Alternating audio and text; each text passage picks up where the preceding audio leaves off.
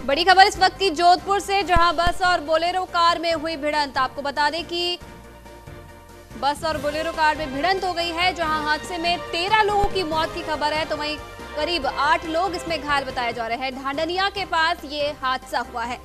जोधपुर के बालासर के पास ये बड़ा सड़क हादसा हुआ है। बता दें कि बस और बोलेरो कार में भिड़ंत हो गई है तो वहीं इस हादसे में तेरह लोगों की अब तक मौत हो गई है, जबकि आठ लोग गंभीर रूप से घायल बताए जा रहे हैं। ढांडनिया के पास ये हादसा हुआ है। बड़ी खबर जोधपुर से।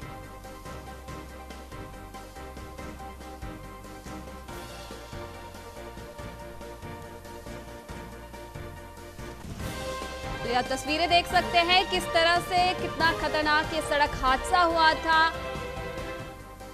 जहाँ बस और एक बुलेरो में भिड़ंत हो गई है। तेरह लोगों की इसमें मौत अब तक बताई जा रही है। तो वहीं आठ लोग इस पूरे मामले में गंभीर रूप से घायल हो गए हैं।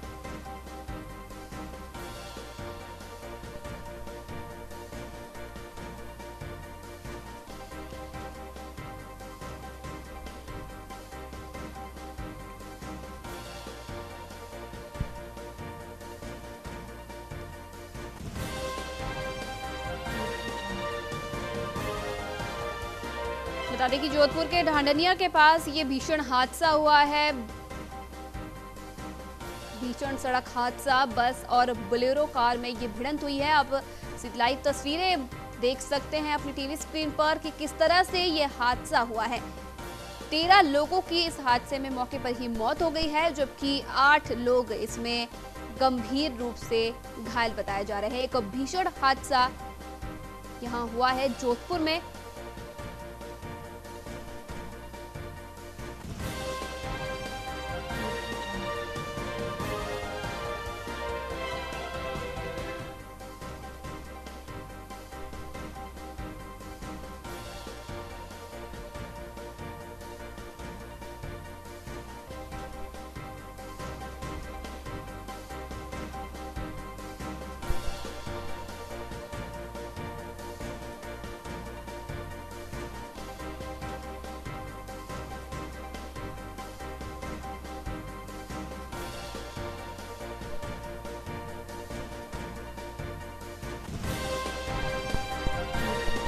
बता दें कि इस वक्त की बड़ी खबर, जोधपुर से ढांडेनिया के पास एक भीषण सड़क हादसा हुआ है।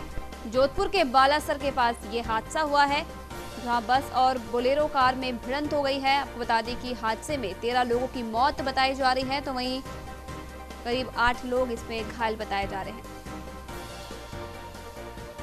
वहीं इसी खबर पर ज़्यादा जानकारी के लिए हमारे संवाददाता मनोहर सिंह हमारे साथ जुड़ चुके हैं। जी मनोहर, एक भीषण सड़क हादसा यहाँ पर सामने आया है।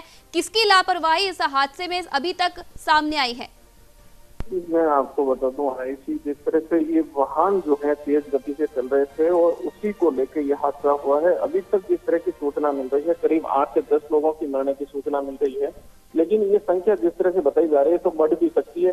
और एक भीषण हादसा कह सकते हैं कि ये हुआ है। जी आई जी मनोहर जी इस हादसे में कई लोगों की गंभीर होने की गंभीर घायल होने की भी बात अभी तक सामने आई है। क्या कुछ उनकी स्थिति अब है?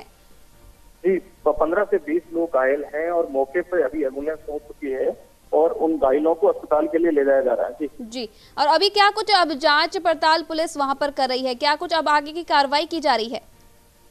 जी पुलिस मौके पे है। अभी सबसे पहले वो घायलों को अस्पताल ले जा रही है। उसके बाद ही कुछ अगली बात बता पाएँगे, पुलिस जो है जाँच कर पाएगी। जी।